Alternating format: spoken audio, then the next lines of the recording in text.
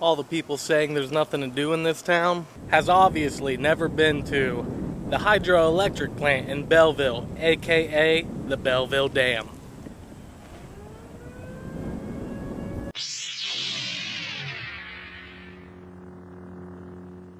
There's literally so much stuff to do here.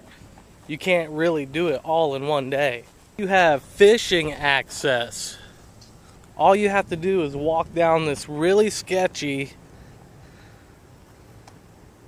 poorly concreted pathway to great dam fishing. And after you catch your awesome dam fish, they have your fish cleaning station.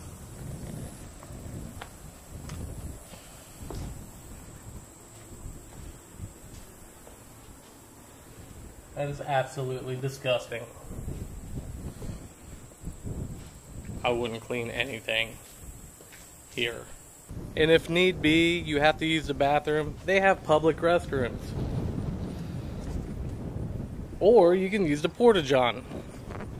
Your choice, it doesn't matter. Picnic shelters, plenty of room, grass, field, water, porta john. They have it all. You can't fit all this fun in one day, guaranteed. They even have special handicap access. Check this out.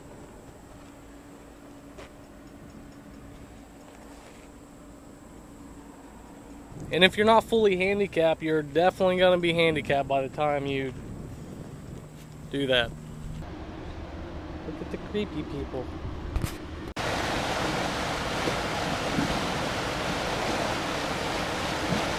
That's crazy water. Crazy water. Crazy water.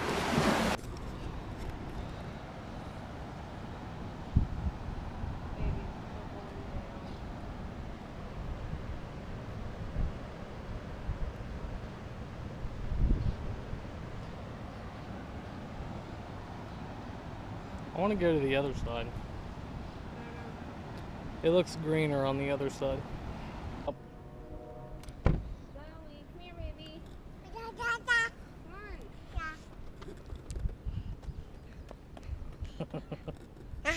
Ah, Zoe, this way. Come here. You're going the wrong way. I know. I want that truck too. But Why?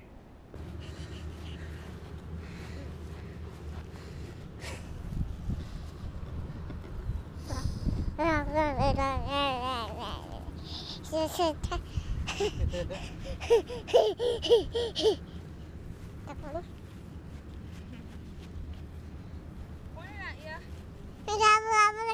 at ya.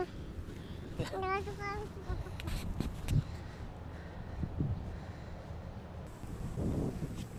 go, go! I'm coming, I'm coming!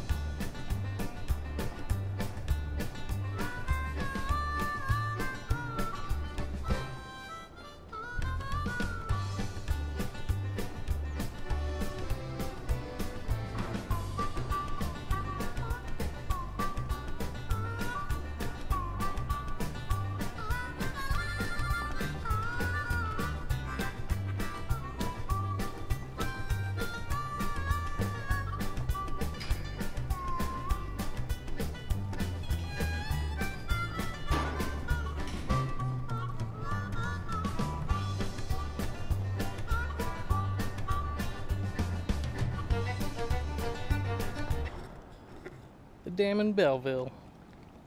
The Belleville Dam.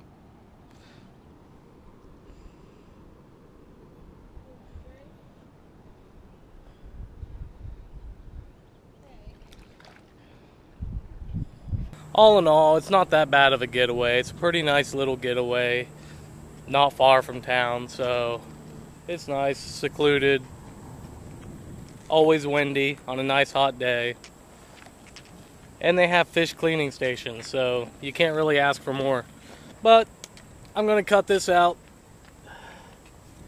If you like the video, hit the like button, comment below, and always subscribe. And I will see you guys next time. Trace out.